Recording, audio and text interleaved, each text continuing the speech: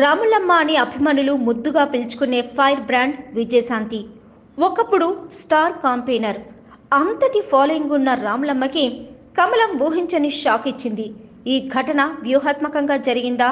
ప్లాన్తో చేశారో తెలియదు కానీ బీజేపీ స్టార్ కంపెనీల జాబితాలో విజయశాంతికి చోటు దక్కలేదు. పైగా ఏ నియోజకవర్గం అభ్యర్థిగా కూడా ప్రకటించలేదు.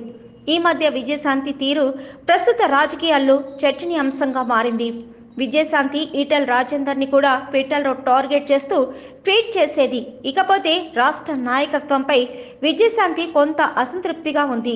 ఇకపోతే కాంగ్రెస్లో ఒకప్పుడు స్టార్ కంపెయినర్ హోదాలో ఓ వెలుగు వెలిగిన విజయశాంతి కాషాయ కండవ కప్పుకుంది. కొన్నాళ్ళు పార్టీలో చురుగ్గా వ్యవహరించిన గత కొంతకాలంగా పార్టీ వ్యవహారాలు పట్టి పట్టనట్లుగా ఉంటున్నారు రాములమ్మ.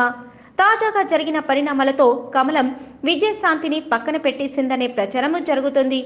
దీనికి కారణం ఈ మధ్య కొందరు సీనియర్లు పార్టీ వీడడం కారణంగా తెలుస్తుంది. బీజేపీలో గ్రాండ్గా చేరిన కోమటిరెడ్డి రాజగోపాల్ రెడ్డి వివేక్ వెంకటస్వామి ఊహించని విధంగా ఇటీవల హస్తం గుటిపై వాలారు.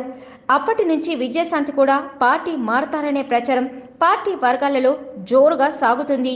ఈ కారణం వల్లనే బీజేపీ స్టార్ కంపెయినర్ లిస్టులో రాములమ్మకు చోటు దక్కనట్లుగా సమాచారం.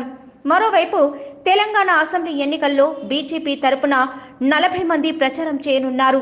వారిలో ప్రధాని నరేంద్ర మోదీ జేపీ నడ్డా రాజ్నాథ్ సింగ్ అమిత్ షా నితిన్ గడ్కరీ కర్ణాటక మాజీ CM Yediyurappa K. Laxman UP CM Yogi Adityanath Piyush Goyal Nirmala Sitharaman Smriti Irani Purushottam Rupala Arjun Munda Bhupendra Yadav Kishan Reddy Sadhvi Niranjan Jyoti L. Murugan Prakash Javadekar Tarun Chugh Sunil Bansal Bandi Sanjay Aravind Menon DK Aruna P. Muralidhar Rao Daggubati Purandeswari Ravi Kishan Ponguleti Sudhakar Reddy Jitender Reddy Garikapati Mohan Rao Etela Rajender Dharmapuri Arvind Soyam Bapu Rao Raja Singh Konda Vishweshwar Reddy Boora Narsaiah Goud Gujjula Premender Reddy Duggyala Pradeep Kumar బంగారు శృతి T Krishnaprasad తదితరులు ఉన్నారు.